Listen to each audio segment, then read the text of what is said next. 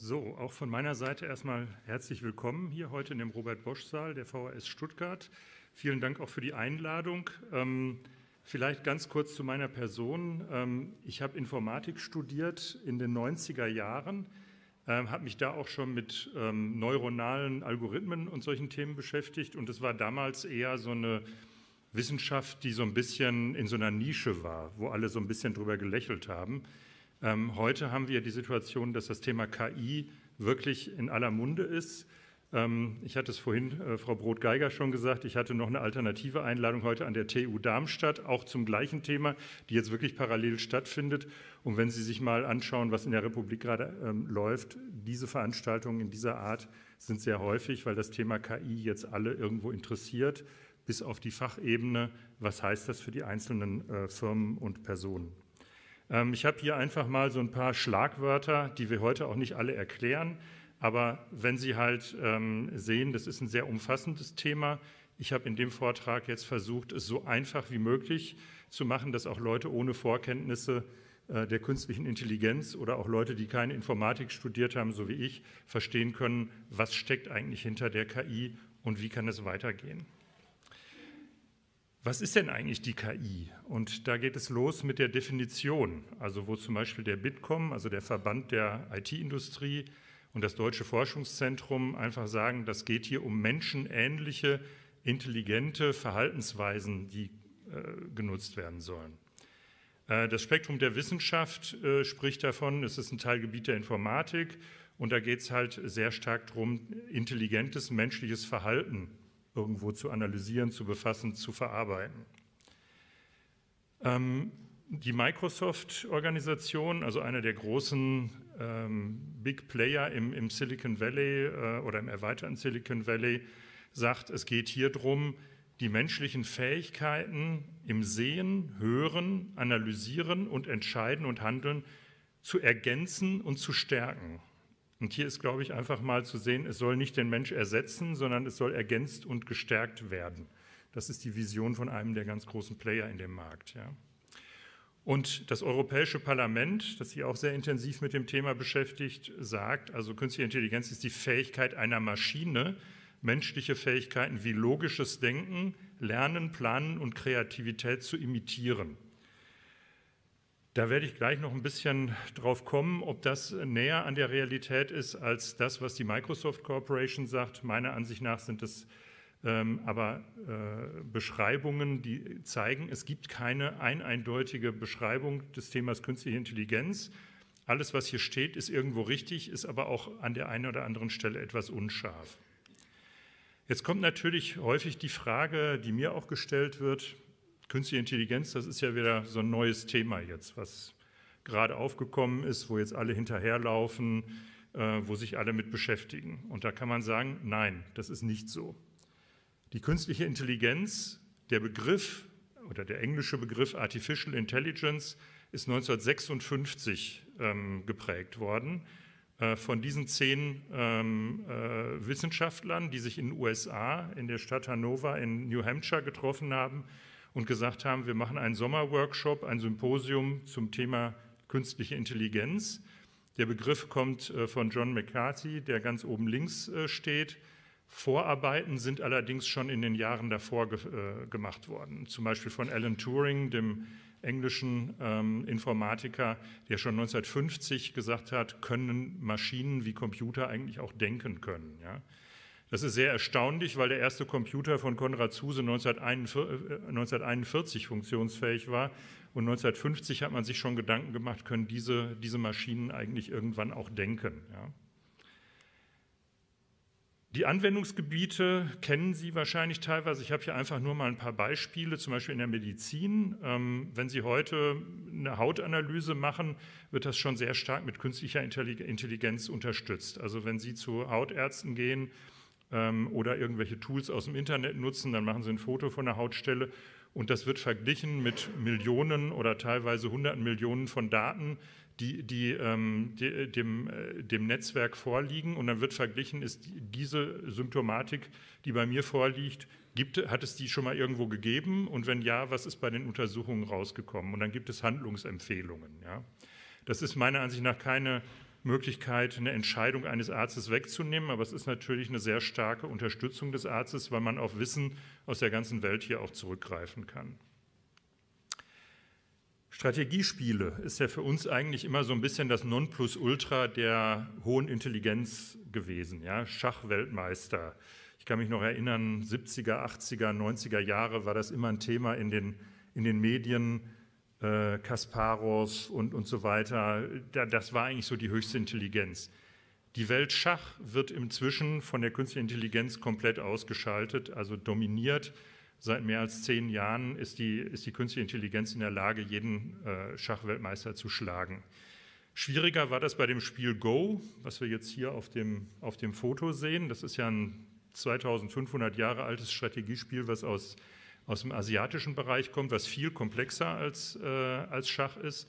Ähm, und da hat es jetzt bis vor wenigen Jahren gedauert, bis die, bis die künstliche Intelligenz das erste Mal die absoluten Top-Spieler schlagen konnte. Und inzwischen ist es so, ähm, also es gibt jetzt Wettbewerbe, wo von fünf Spielen äh, fünfmal die künstliche Intelligenz gewinnt. Ja? Und also wirklich die, ähm, diese, diese Intelligenzstufe bei solchen Strategiespielen inzwischen so ist, dass die Maschine da nicht mehr besiegbar ist eigentlich. Ja?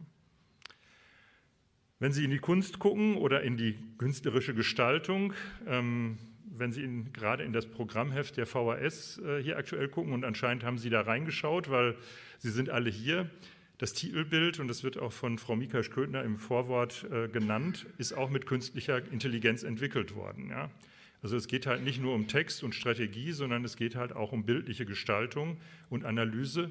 Und das kann hier auch genutzt werden. Und hier hat man mit verschiedenen künstlichen Intelligenz-Tools gearbeitet, um dieses Titelbild hier zu generieren. Und dann der, das Thema Verkehr.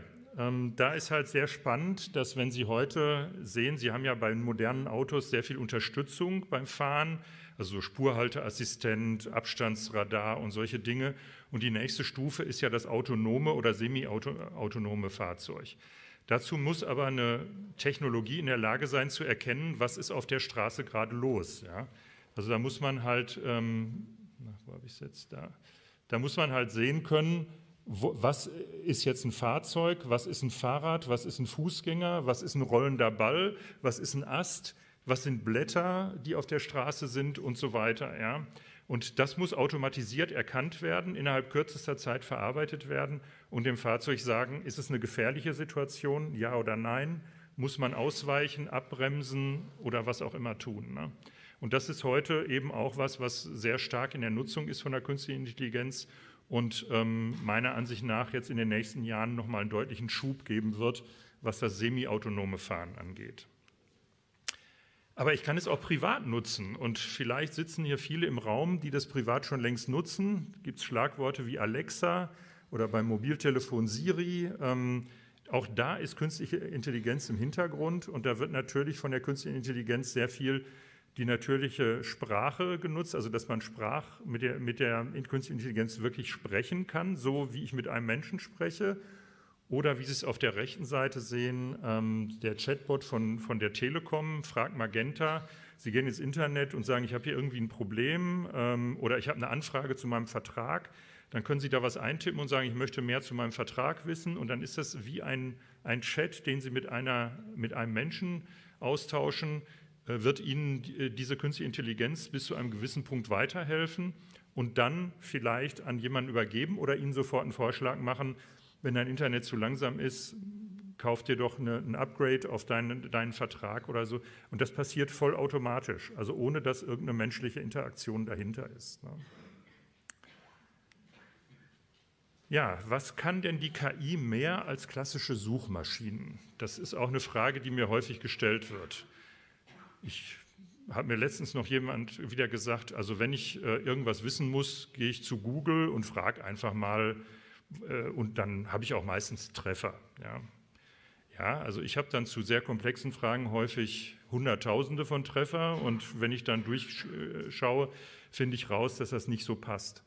Ich habe hier einfach mal eine Aufgabe genommen, die ich tatsächlich in meiner Schulzeit, also ich hatte Leistungskurs Französisch und da war die Aufgabe, vergleiche mal die Wirtschaftsstruktur Deutschlands mit der von Frankreich Und dann bin ich damals in eine Bibliothek gegangen und habe mich da tagelang eingearbeitet, habe das alles ausgearbeitet und so weiter. Und ich habe das jetzt einfach mal bei ChatGPT eingegeben. Das ist eines der Tools, wo Sie auch im Laufe des Nachmittags noch etwas tiefer reingehen. Und ich habe hier noch nicht mal die neueste Version genommen, sondern die Vorgängerversion. Und dann kommt innerhalb von drei Sekunden kommt die Ausgabe raus, wo drin steht, diese drei Themen, also ich habe es ja auf drei beschränkt hier, diese drei Themen, Wirtschaftsstruktur, Arbeitsmarkt, Arbeitsgesetze, Wirtschaftspolitik und Staatsausgaben sind unterschiedlich. Und wenn Sie jetzt hier bei Wirtschaftsstruktur gucken, sagt die, Deutschland hat eine stark exportorientierte Wirtschaft, insbesondere im Bereich Maschinenbau, Automobilindustrie und Technologie. Frankreich hingegen ist breiter aufgestellt und hat eine bedeutende Agrarindustrie sowie eine starke Luft, Luftfahrt- und Raum, äh, Rüstungsindustrie. ChatGPT hätte mir 1986 ähm, mehrere Tage Arbeit gespart ähm, und ich hätte in drei Sekunden meine Hausaufgabe erledigt gehabt. Ne? Ist wahrscheinlich auch ein Thema, was heute in Schulen durchaus ähm, äh, ein eine Diskussionspunkt ist und natürlich auch in der Arbeitswelt letztlich weitergeht. Ne? Kann ich das denn eigentlich auch kreativ nutzen? Kann ich auch sagen, ich will jetzt nicht einfach nur Analysen von irgendwelchen Texten haben, sondern kann ich auch irgendwie was wirklich so mal richtig künstlerisch angehen. Ja? Und da habe ich gesagt, hier zu ChatGPT, schreib doch mal ein Gedicht im Versmaß über die Stadt Stuttgart, hebe die wirtschaftliche Bedeutung hervor, beschränke dich auf zwei Verse und plopp, in zwei Sekunden ist das da. In Stuttgart, wo Wirtschaft blüht, Geschäfte und Ideen sprüht, Autos, Innovation im Flug, hier gedeiht die wirtschaftliche Zug.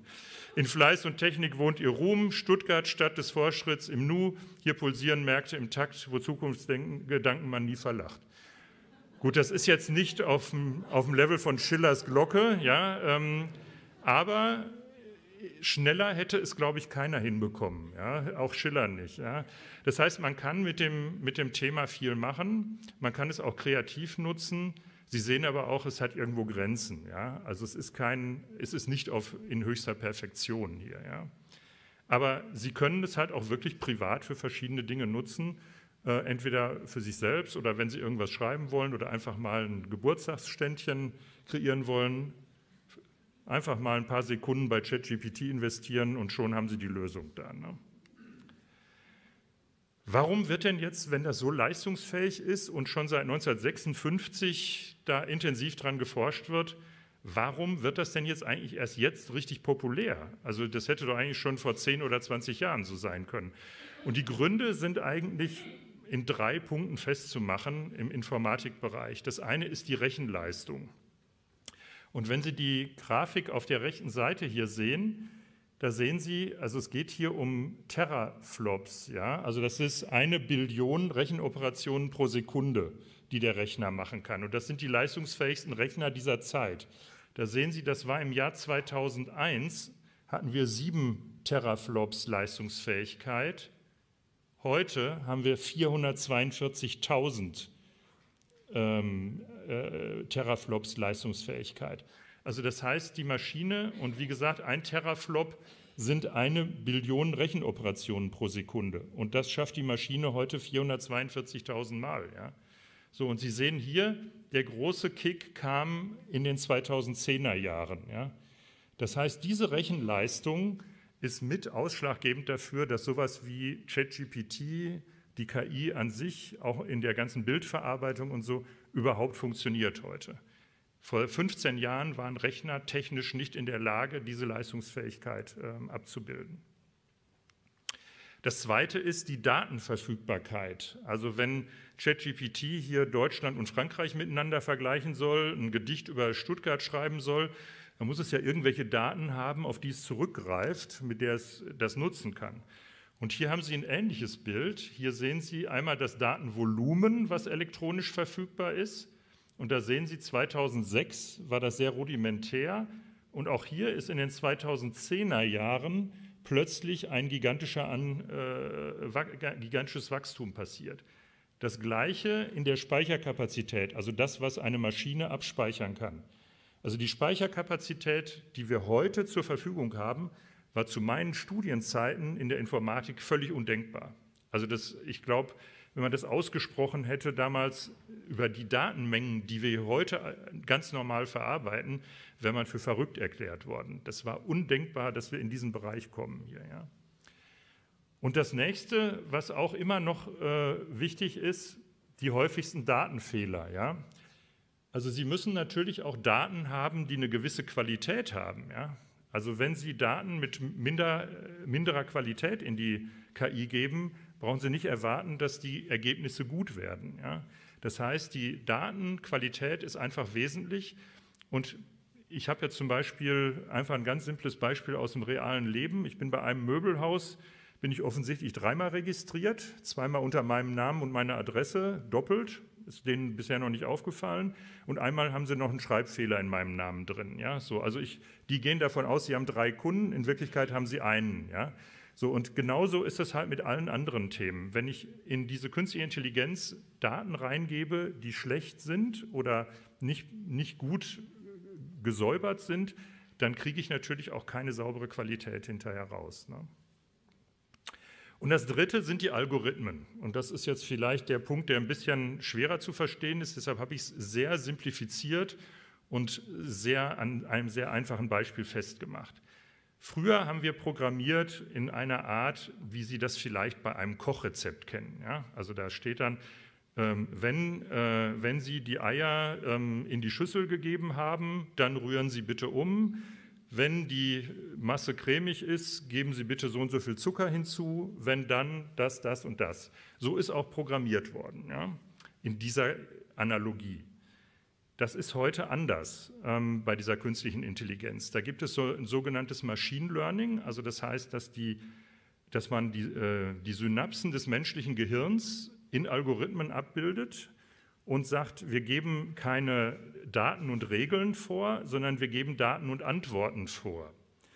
Und das ist so ein bisschen in Analogie, wie ein Kleinkind lernt. Also Sie gehen ja auch nicht zu einem Zweijährigen hin und sagen, ich habe hier mal den Duden mit den Regeln und ich habe hier mal den Brockhaus mit dem Wissen und ich lege den jetzt mal in die Wiege und dann arbeite dich schon mal ein. Ja? Sondern Sie machen das ja anders. Sie zeigen dem Kind ja, das ist Mama, Papa, ist der Hase Willi, das ist ein Auto, das ist ein Bett, das ist ein Schrank und das Kind saugt das auf. Und genauso geht das bei der künstlichen Intelligenz. Bei dem ganz simplen Beispiel der Zahl 7, die kann ja unterschiedlich geschrieben werden. Also im äh, deutschen Sprachraum schreibt man sie zum Beispiel anders handschriftlich als im US-Sprachraum. Dann gibt es auch noch mal ein bisschen kritzeligere Versionen davon, je nachdem, wie man das gemacht hat. Und ich sage, das alles hier soll die Zahl 7 sein. Ja? Das erkläre ich dem, dem Algorithmus. Und dann stellt er Regeln auf intern und sagt, wenn sowas kommt, weiß ich ab sofort, das ist die 7. Ja? Das wird zum Beispiel in Algorithmen genutzt, um die Post automatisiert zu verteilen. Also Sie schreiben handschriftlich eine Postleitzahl auf den Briefumschlag und da ist eine künstliche Intelligenz bei der Deutschen Post DHL, ähm, die automatisch durchscannt und sieht, das ist jetzt die äh, 70771 oder was. Äh, und das muss dann halt ähm, nach, nach Leinfelden oder nach Stuttgart oder irgendwo anders hin. Und das ist halt durch künstliche Intelligenz möglich, dass sie diese Zahlen jetzt automatisiert erkennen. Aber wie sieht jetzt diese Regel genau aus? Das ist ja für uns nicht so sichtbar. Ja? Also jetzt weiß die Maschine das, aber wie entscheidet die jetzt, dass das wirklich eine 7 ist und nicht eine etwas schlecht geschriebene 1? Ja? Ähm, das ist halt die große Frage. Deshalb auch, wie sicher ist die Regel und wer prüft diese Regeln überhaupt? Ja? Bei der Deutschen Post DHL ist das natürlich ein internes Thema, aber wenn ich eine künstliche Intelligenz einsetze für andere Themen, gerade jetzt auch im Verkehrsbereich, was wir vorhin hatten, will ich natürlich schon wissen, wie kommt die künstliche Intelligenz darauf, dass das, was vor mir ist, ein Fahrrad ist und das ein Fußgänger und das ein äh, Laub auf der Straße? Ja? So, und jetzt wird es ähm, ein klein wenig komplexer und ich habe das auch mal wieder an einem sehr simplen Beispiel klargemacht. Es gibt sogenannte Clickworker und Content-Moderatoren, also Leute, die hingehen und diese KI trainieren. Also so wie Sie ein Kleinkind trainieren und sagen, das ist ein Auto, das ist ein Schrank und so, gehen die hin und trainieren diese, diese KI. Das kann mit Texten sein, mit Bildern. Ich habe hier mal ganz simpel Bilder genommen. Ja? Also da habe ich der KI jetzt gesagt, das obere ist ein Pferd. Ich habe der KI gesagt, das mittlere ist eine Kuh. So, und jetzt passiert Folgendes. Jetzt kommt so ein Bild hier. Ja? Da wird die KI jetzt sagen, hm, das ist mit 90-prozentiger Wahrscheinlichkeit ein Pferd. Ja? Und dann muss der Clickworker sagen, nein, das ist eben kein Pferd, sondern wenn das so gestreift ist, dann ist das ein Zebra. Ja? So, und somit lernt die KI immer weiter dazu. Ja? Jetzt weiß ich nicht, ob Sie hier Clickworker kennen in dem Umfeld oder anscheinend nicht. Gibt es zum Beispiel eine Firma, clickworker.de in Deutschland, die sagen, wir haben mehr als 4,5 Millionen Clickworker in 136 Ländern dieser Erde. Ja? Ähm, da sehen Sie die Verteilung. Das ist natürlich nur eine Firma. Es gibt ja auch noch Google und es gibt noch viele andere und, und Freischaffende und so weiter. Und wenn alleine Clickwork.de 4,5 Millionen Clickworker hat und alle anderen zusammengenommen, reden wir hier über Hunderte von Millionen von Leuten, die diese unterschiedlichen KI-Tools trainieren. Ja? Und das sind eigentlich Minijobber. Die machen das häufig nebenher. Also das können Sie ja mit dem Smartphone machen, das können Sie irgendwo unterwegs machen. Nebenher können Sie sagen, diesen Samstag verdiene ich mir noch ein bisschen Geld dazu, also mache ich das. Ja? So, das heißt aber auch, wer reguliert, wer prüft eigentlich die Qualität von diesen Clickworkern? Weil es kann ja auch um religiöse Texte gehen, es kann um Texte gehen, die unsere Demokratie betreffen oder diese eben einschränken wollen. Ähm, es kann diskriminierende Texte geben. Ähm, wer prüft das eigentlich? Ja? Und da ist jetzt tatsächlich die EU-Kommission auf die Idee gekommen, wir machen einen AI-Act, also eine zu Deutsch KI-Verordnung. Ja. Da soll halt reguliert werden, wie diese künstliche Intelligenz ähm, äh, gehandhabt werden soll. Das ist auch relativ umfassend. Und es ist tatsächlich weltweit die erste umfassende Regulation von KI, die da jetzt gerade runtergeschrieben wird. Ja. Sie wissen, nächstes Jahr sind Europawahlen. Bis zu den Europawahlen muss dieses Gesetz verabschiedet sein. Ansonsten muss es in der nächsten Legislaturperiode völlig neu verhandelt werden. Ja? So, und jetzt weiß ich nicht, jetzt gibt es Leute, die sagen, so eine Regulierung ist dringend notwendig, weil ansonsten ist ja totaler Wildwuchs, wenn Hunderte von Millionen von, von Leuten da einfach die KI, KI trainieren und ich gar nicht weiß, was da trainiert wurde. Ist das gut, dass die EU das macht? Dann kommen aber auch drei Länder ins Spiel, die heißen Deutschland, Frankreich und Italien. Und das ist jetzt ein Presseartikel der letzten Woche, wo die sich querstellen und sagen, wir wollen diese Regulierung in dieser Schärfe nicht. Wir wollen eine verpflichtende Selbstregulierung durch einen Verhaltenskodex. Und wir haben auch keine Sanktionen geplant. So, also das scharfe Schwert der KI-Verordnung wird hier gerade deutlich abgeschwächt. Und ich war jetzt letzte Woche, ich bin auch im IHK-Ausschuss Digitalisierung in München und Oberbayern. Da hatten wir eine Vertreterin aus, der, äh, aus dem Digitalministerium in Bayern, die jetzt gerade ja neu gewählt wurden. Und die sagte, hm, es ist ein sehr ambivalentes Thema im Moment. Also die einen wollen halt eine stärkere Regulierung, damit man eben Missbrauch einschränkt. Die anderen sagen, das geht bei diesem Thema eigentlich gar nicht, weil das so groß und so umfassend ist, dass wir das eigentlich gar nicht hinbekommen. Und wir befürchten, dass wir hier überreguliert werden in Deutschland und die Firmen dann einfach ins Ausland abwandern und da eine KI entsteht, die wir dann auch wieder in Deutschland nutzen. Ja.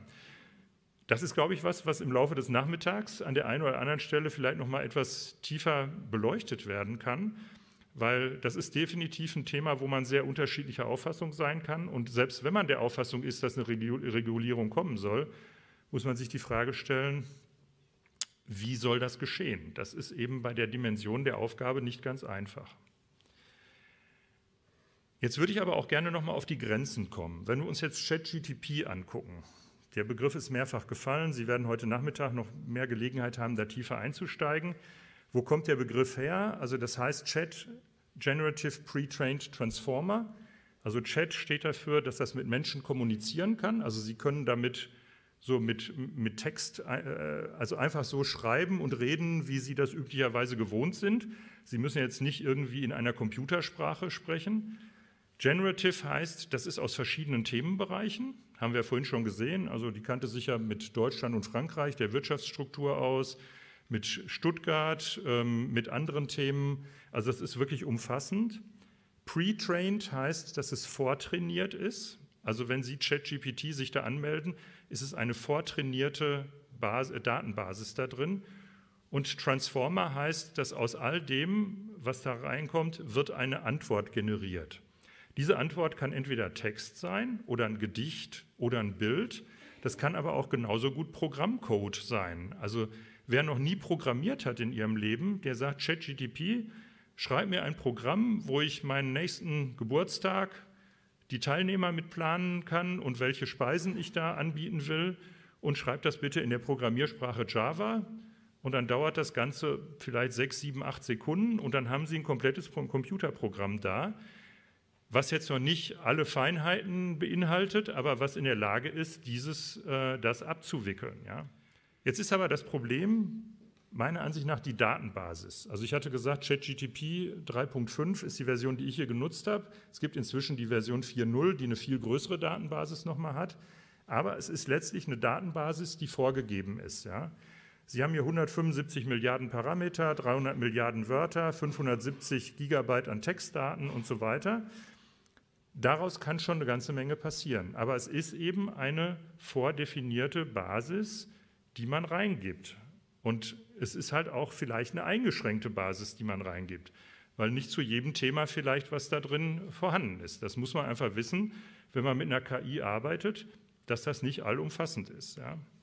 Und wenn wir nochmal auf unser Beispiel hier mit Pferd, Kuh und Zebra zurückkommen, was passiert, wenn ich jetzt, wenn die nur auf diese drei ähm, Tiere trainiert ist und jetzt kommt ein Pegasus. Ja, da würde ich sagen, naja, das könnte so, also eine Kuh ist es zu 0 Prozent, Zebra schwierig, Pferd vielleicht zu 70 Prozent. Ja? Ähm, kommt aber nicht drauf, dass es was ist, was eigentlich aus, einem, aus einer ganz anderen Welt kommt. Ja? Und das ist meiner Ansicht nach die Grenze auch äh, von diesen künstlichen Intelligenzen sie schaffen eigentlich nichts völlig Neues. Ja? Also wir sind ja hier im Robert Bosch-Saal. Hätte die künstliche Intelligenz Robert Bosch die Arbeit abgenommen, die Zündkerze zu erfinden und zu entwickeln? Ja, ja sie hätte ihm sehr viel Arbeit abgenommen, sehr vieles beschleunigt, aber die Kernidee, ähm, die Umsetzung, wo setze ich das ein, äh, wie kann ich das einsetzen, wie kann ich das vermarkten, das hätte man dem, hätte die KI dem Robert Bosch nicht abgenommen. Ja? Also das heißt, diesen kreativen Teil, auch diese Intuition und diese Dinge sind in der KI nicht drin, weil sie letztlich auf einer Datenbasis ähm, arbeitet und diese Datenbasis besser analysieren und verknüpfen kann, als wir das als Menschen können, vor allem in der Dimension. Aber dieser intuitive Teil, dieser kreative Teil, da ist es halt schwierig mit, äh, mit umzugehen. Genauso können Sie auch jetzt ein Bild von uns hier im Raum machen und äh, ChatGPT oder einem anderen Tool sagen, mal das bitte mal so, dass das so aussieht, als wenn das Monet oder Van Gogh gemalt hätten oder Picasso. Das kriegt die KI super hin. Also Sie werden erstaunt sein, was da für, für Bilder dann rauskommen. Aber sie würde nichts erfinden, was es nicht irgendwo schon, schon gab. Ja? Also es, was kommt nach Picasso und und Van Gogh und so weiter. Diese, diese völlig neue, kreative Intuition würde sie nicht hinbekommen. Sie könnte höchstens die Dinge mischen, aber nicht was völlig Neues entwickeln. Und das ist im Moment die Einschränkung. Und das ist vielleicht auch die gute Nachricht für Menschen, dass man sagt, also unsere Denkleistung und unsere Intuition wird auch in Zukunft weiterhin gebraucht. Ja. Ähm, in den Dingen, die sehr simpel und wiederholbar sind, kann uns die KI viel abnehmen. Und das ist dann natürlich auch teilweise in der Qualität und der Geschwindigkeit viel höher, als wir da selbst hinbekommen können. Wie stark wird jetzt die KI unsere Welt verändern? Wir haben ja hier so Themen von Buchdruck bis Smartphone, was die Welt ja äh, wirklich massiv verändert hat. Und da kann man ganz einfach sagen, ich glaube, das, das wird wirklich eine, eine echte Revolution, so wie das Smartphone, so wie das Internet, sowie der Computer. Und das sehen halt auch ähm, wirklich Leute, die sehr tief in dem Thema drin sind. So. Also Bill Gates, der Gründer von Microsoft, der sich inzwischen da aus der Firma ähm, rausgezogen hat, sagt, die Macht der künstlichen Intelligenz ist so unglaublich, dass sie die Gesellschaft auf tiefgehende Weise verändern wird. Die Frage ist, ist Macht hier der richtige Begriff? Ich glaube, auch da können Sie im Laufe des Nachmittags nochmal drüber sprechen. Hat die KI Macht über uns oder haben wir Macht über die KI? Wie können wir das beeinflussen? Sehr spannende Frage, glaube ich. Wenn Sie Ray Kurzweil nehmen, äh, Ex-Leiter der technischen Entwicklung bei Google, der sagt, wenn Sie im Jahr 2035 mit einem Menschen sprechen, sprechen Sie mit jemandem, der eine Kombination aus biologischer und nicht biologischer Intelligenz hat. Ja? Also das heißt, Sie haben im Prinzip den Datenspeicher von, von Ihrer KI mit dabei und kombinieren das mit Ihrer Intelligenz. Ja? Äh, der Chief äh, AI Scientist bei Facebook sagt, also Jen LeCun, die Intelligenz ist das, was uns menschlich macht und die KI ist eine Erweiterung dieser Qualität. Also das heißt, wir erweitern unsere Fähigkeiten mit der KI. Und Stephen Hawking, der äh, geniale Physiker, der vor ein paar Jahren leider verstorben ist, hat es schon 2017, 18 gesagt, KI ist wahrscheinlich das Beste oder das Schlimmste, was der Menschheit passieren kann. Und das ist, glaube ich, was, was wir selbst mit beeinflussen können, sollten und vor allem, was wir auch sauber einschätzen sollten, was uns die KI bringt, wo sie uns dominiert, wo wir sie ergänzen können, wie wir sie einschränken können, sind alles Themen, die noch nicht abschließend geklärt sind und die ich glaube auch im Laufe des spannenden Nachmittags und Abends noch nicht abschließend geklärt sein werden, aber wo Sie dann Einblicke bekommen. Noch ein Beispiel, ich habe die KI jetzt, also ChatGPT, einfach gefragt, schreibe einen Text, in dem ich mich für die Einladung, die gute Organisation durch die VHS Stuttgart und das aufmerksame Publikum bedanke. Und flop, habe ich meine Rede da, ja. so. Ja, also ich möchte mich für die Einladung zur Veranstaltung bedanken. Es war mir eine Ehre und Freude, Teil dieses inspirierenden Events zu sein. Ein besonderer Dank gilt der Volkshochschule Stuttgart und so weiter. Und ganz unten steht noch, dieser Text kann als Vorlage dienen und je nach Bedarf angepasst werden dann. Ne? So, das heißt, wenn Sie jetzt demnächst einen Weihnachtspost bekommen, überlegen Sie doch mal, ob das wirklich von demjenigen live geschrieben wurde oder ob der zwei Sekunden bei ChatGPT investiert hat, um einen ganz tollen Weihnachtsbrief, vielleicht noch mit einem Gedicht, ähm, da reinzubringen. Ne? Insofern bedanke ich mich jetzt, also ganz echt und ehrlich und ohne ChatGPT, für die Einladung, für, ihre, für Ihr Kommen, wünsche noch viel Spaß und äh, bei, der, bei dem weiteren Verlauf und würde dann jetzt ähm, an Frau Asimaki, glaube ich, übergeben. Ist das richtig? Ja.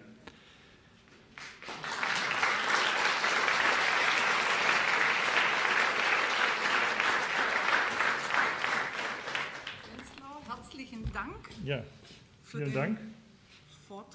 Noch ein kleines oh, analoges Geschenk von uns. Sehr schön. Selber zusammengestellt. Werde ich, KI, das geht, glaube ich, noch nicht so Werde ich gleich in der S-Bahn äh, Werbung zur genau. Werbung nutzen. Ja. Gibt es Fragen? an Herrn Fenslau. Wir haben noch ein bisschen Zeit bis zum nächsten Vortrag. Ja. ja.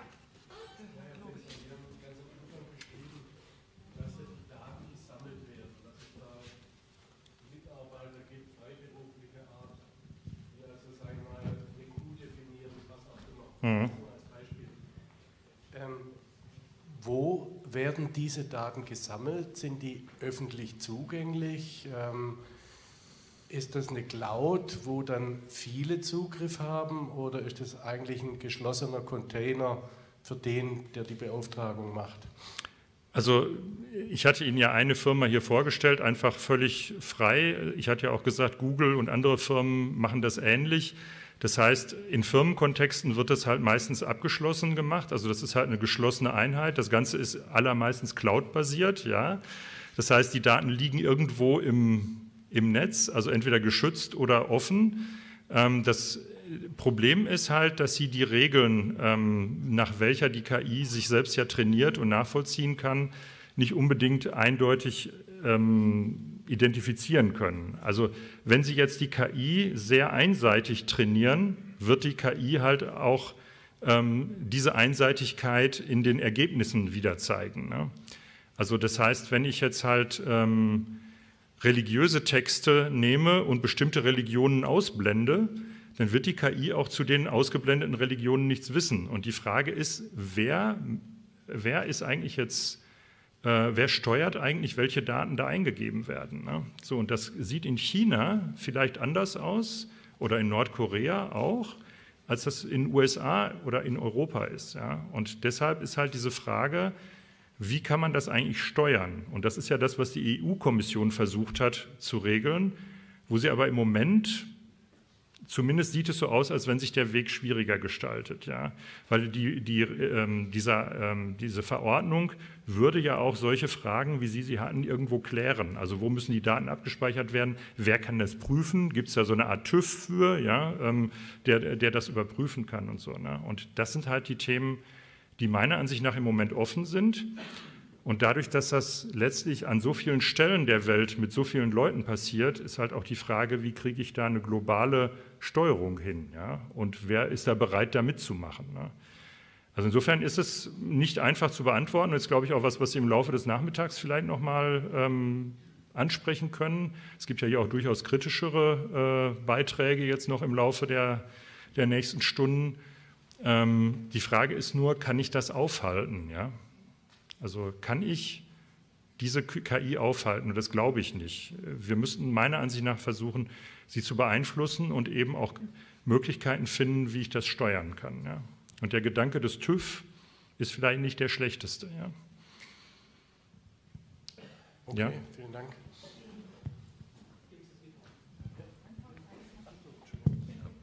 Äh, ich hätte eine Frage zum Thema Regulierung, da sind Sie ja gerade drauf eingegangen. Mhm.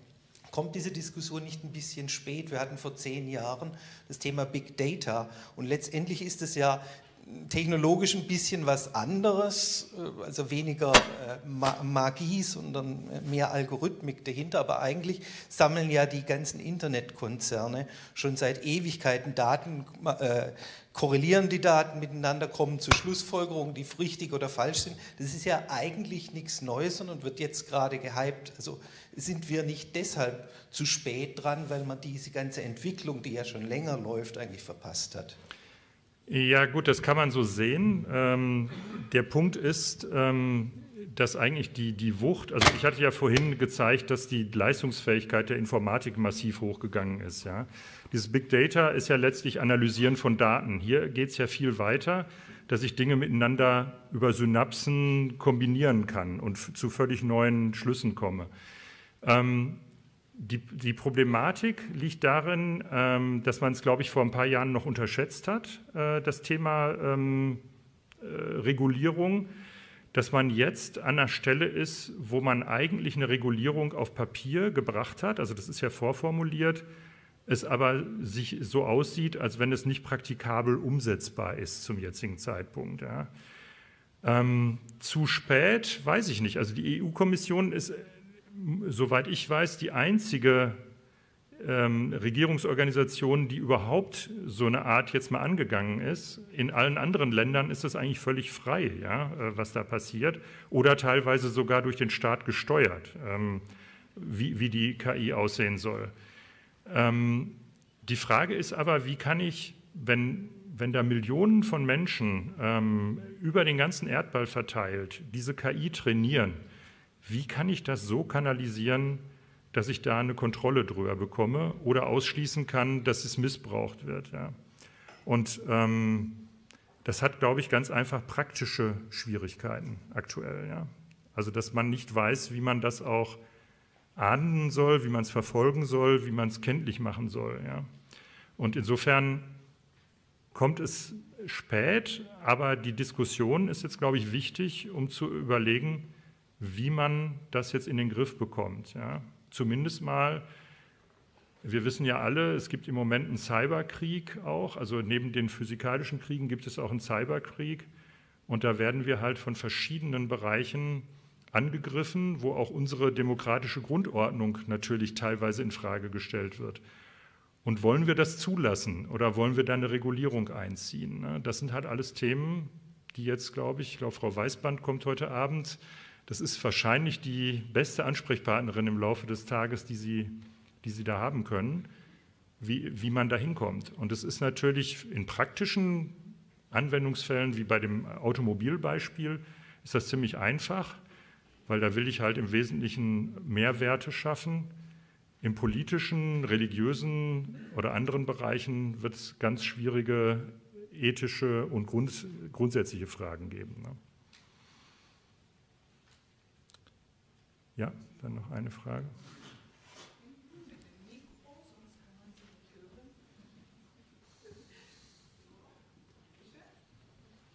Ich äh, habe die Frage, ob das mit Gebühren, muss ich mir einen Account irgendwie eröffnen irgendwo oder kann ich einfach ins Internet eingeben? Also diese, äh, diese Version, die ich hier genutzt ja. habe bei ChatGPT, die ist jetzt tatsächlich, also wenn man sie nicht gewerblich nutzt, kostenfrei. Also diese ChatGPT 3.5, ähm,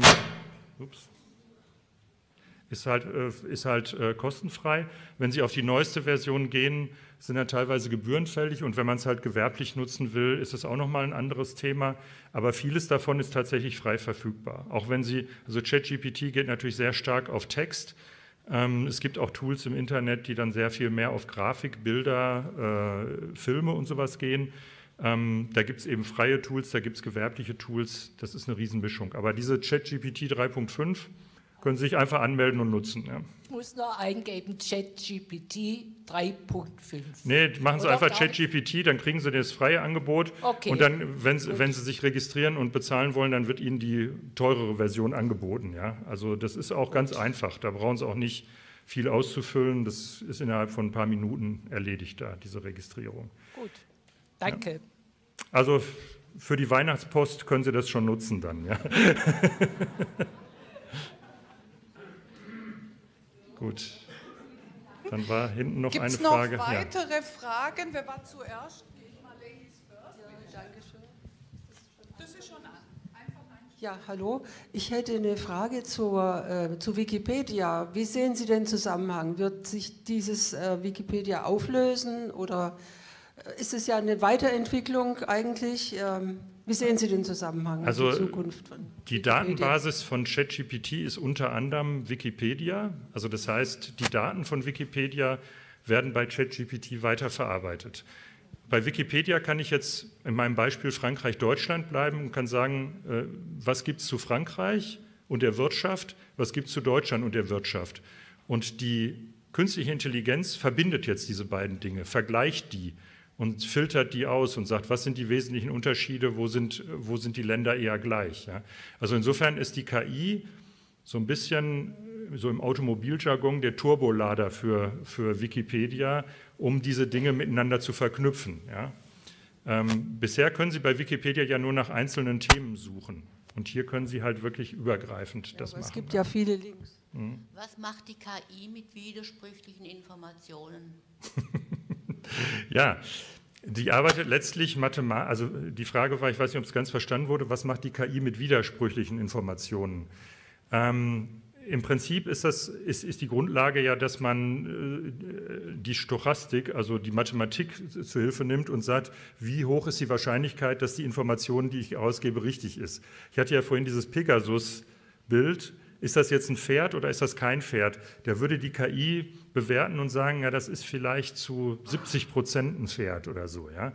Das heißt, da gibt es dann eine vage Aussage. Also da kann, man kann halt auch bei einer KI äh, häufig sehen, wie ist die Klassifizierung. Ist die KI sich 100 Prozent sicher, dass die Information richtig ist? Oder gibt es gewisse Fragezeichen dahinter? Ja? So, und wenn diese Dinge halt unklar sind, dann gibt es eben mathematisches Mittel. Ja? Und damit können Sie dann auch sagen, dass die Antwort wenig hilfreich ist. Ne? Weil wenn Sie eine 50-prozentige Genauigkeit haben, das ist die gleiche Genauigkeit, die Sie beim Münzwurf haben. Ne? Also wenn Sie eine Münze hochwerfen, ist 50 Prozent Wahrscheinlichkeit, dass die eine oder die andere Seite kommt. Und wenn die KI nicht mindestens in diesen 90-Plus-Bereich kommt, dann können Sie eigentlich die Qualität der Informationen zumindest mal in Frage stellen. Ne? So, und das ist halt genau das, was durch weiteres Training dann immer weiter ausgemerzt werden soll. Ne? Und das machen halt Leute. Es gibt aber natürlich auch automatisierte Trainingsverfahren, also für Dinge, die schon im Netz verfügbar sind. Also so ein Bild wie jetzt von der Kuh und von, von einem Pferd, das kann auch automatisiert schon mal gehen. Aber wenn es dann um Feinheiten geht, das wird halt von Menschen gemacht. Ne? Was glauben Sie, äh, wann kommt das ähm, autonome Auto, wo ich mich dann reinsetze und sage, fahre mich dort und dorthin?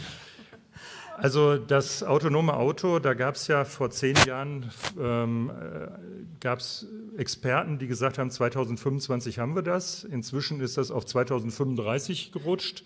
Inzwischen gibt es auch Experten, die sagen, das wird zunächst für die Autobahn kommen, also für Bereiche, die relativ simpel sind für so eine künstliche Intelligenz, weil ich da klare Fahrspuren habe, keine ähm, äh, keine Ampeln, ich habe üblicherweise keine Personen, die da rumlaufen und, und das stören.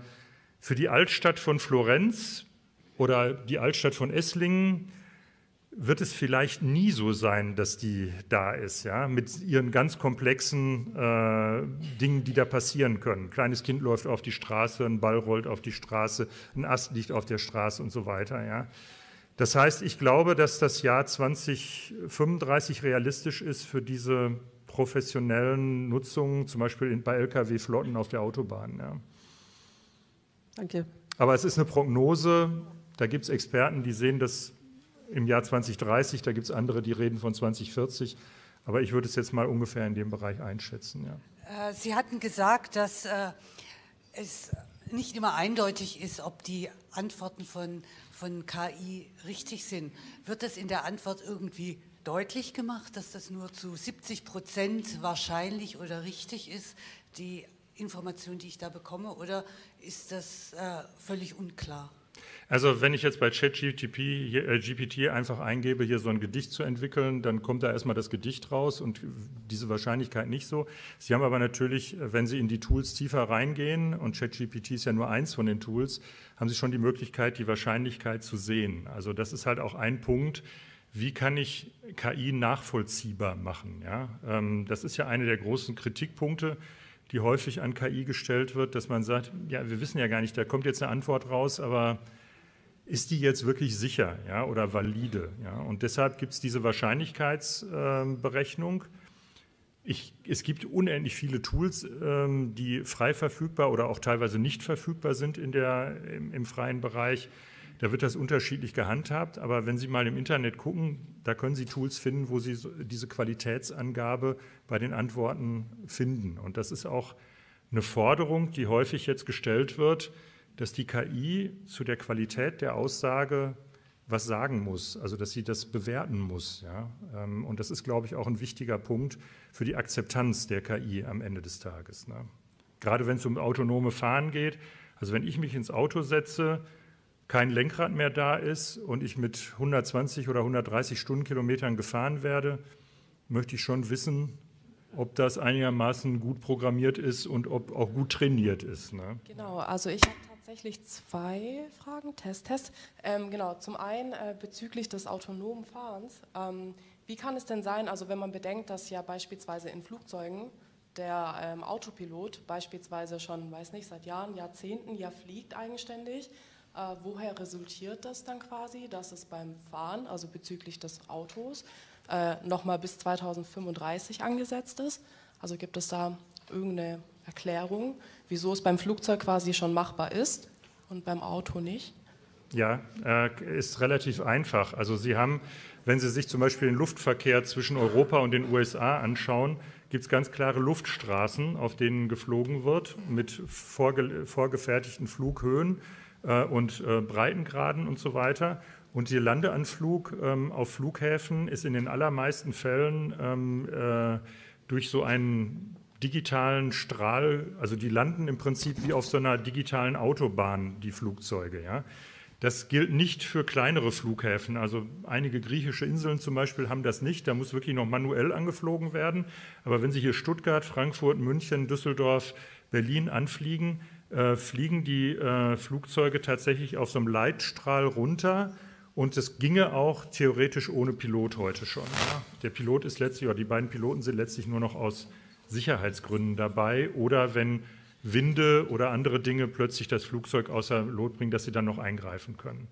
Und das ist eben beim Autofahren nicht der Fall. Deshalb sagte ich ja, dieses autonome Fahren wird erst auf der Autobahn kommen oder in Straßen wie in China, die entstehen Straßen, die fürs autonome Fahren schon gebaut werden, ja, also wo auch Zäune an der Seite sind, wo keiner drauflaufen kann und so.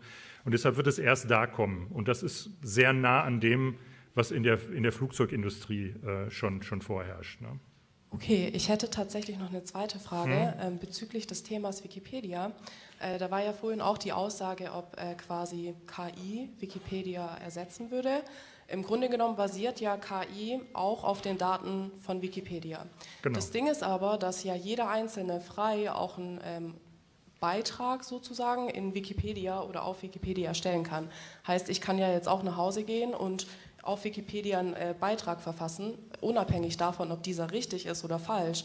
Heißt, da ist ja auch wieder die Problematik, wenn äh, quasi ChatGPT oder KI sich auf Wikipedia beruht, wer kann garantieren, dass das richtig ist? Also müsste man dann nicht im Vorfeld auch Wikipedia erstmal prüfen, ob da die Beiträge überhaupt richtig sind? Also soweit, soweit ich weiß, gibt es schon eine Kontrolle bei Wikipedia. Ähm, also ich weiß es selbst, weil ähm, ich selbst mal Beiträge hatte für eine Firma, wo ich gearbeitet habe, da, die bei Wikipedia einen Eintrag haben, wo wir eine Änderung machen wollten, was tatsächlich durch eine Prüfung ging, wo wir auch Nachweise liefern mussten. Ähm, es ist aber keine staatliche Stelle, die das prüft. Ja? Also das ist letztlich eine Selbstverpflichtung ähm, bei, bei Wikipedia. Und insofern haben Sie recht, ist das eine Schwachstelle. Und das ist ja auch das, was ich vorhin gesagt habe, wo sind die Grenzen der KI oder von ChatGPT? Das ist die Datenbasis. Ja? Also wenn die Datenbasis an irgendeiner Stelle unsauber ist oder einseitig oder bestimmte Dinge ausblendet oder falsche Artikel hat, dann wird auch die KI entsprechend entscheiden. Ne? Insofern ist, diese, ist das ein Kernthema, wie kriege ich die KI auf eine höhere Qualität, indem ich halt die Datenbasis ähm, irgendwo reglementiere, reguliere, durch einen TÜV prüfen lasse oder was auch immer. Ne? Ja, okay.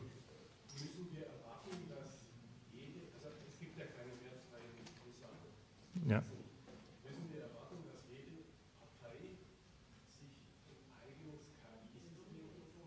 Also die Frage war, ob wir befürchten müssen, dass sich jede Partei, also politische Parteien nehme ich an, oder auch andere, andere Organisationen, sich eine eigene KI aufbaut und das natürlich dann in einem in so einer eigenen Glocke äh, äh macht, wo ich alles andere ausblende, was, mich, was ich nicht haben will. Diese Befürchtung ist nicht unbegründet. Ja. Und wenn Sie ins Social Media heute gehen, gibt es ja gekapselte Kanäle. USA ist ein Beispiel. Da haben Sie das schon fast. Ja? Und die Reden, die geschrieben werden, die lassen sich natürlich mit künstlicher Intelligenz viel besser schreiben, äh, viel schneller. Und es gibt auch in USA seit Jahren schon Reden von Politikern, die während die Rede gehalten wird, wird auf Social Media geguckt, wie die Reaktionen sind. Und dann kann ich die Rede, während sie läuft, nochmal verändern und einen Punkt nochmal stärker herausheben oder wieder abschwächen, je nachdem, wie das angekommen ist. Ne? Das ist aber Realität schon heute. Ja? Also das ist nicht, wo wir uns Gedanken über die Zukunft machen müssen, sondern das ist schon im, in Obamas zweiten Wahlkampf ist das schon Realität gewesen. Also da gibt es auch Artikel im Internet, wenn Sie das mal recherchieren, ähm, da sehen Sie halt, wie weit das reicht. Und die künstliche Intelligenz würde das Ganze natürlich nochmal beschleunigen jetzt. Ne? Also indem Sie, früher waren das teilweise Redenschreiber, jetzt geht das halt fast vollautomatisch. Und wenn ich die künstliche Intelligenz halt mit den richtigen Informationen füttere, kommt auch genau das raus, was ich da haben will. Vielen Dank.